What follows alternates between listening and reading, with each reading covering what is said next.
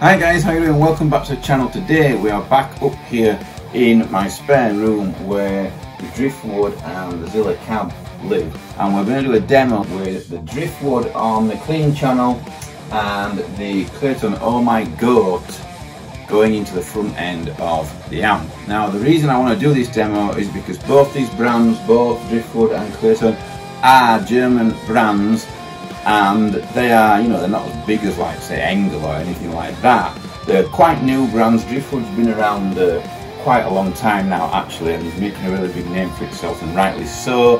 Klirrton have not been around quite as long but they're equally good. Both German and that's why I really want to do the demo to see what these uh, two bad boys sound like together. I've got out my beautiful number one baby, my Jackson uh, DK2 Green Glow Ash.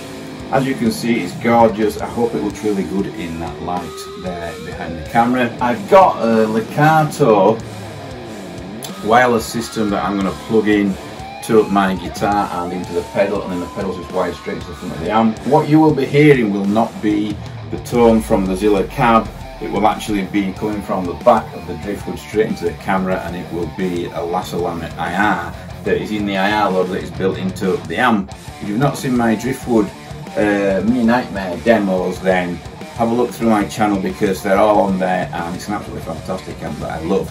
So let's go.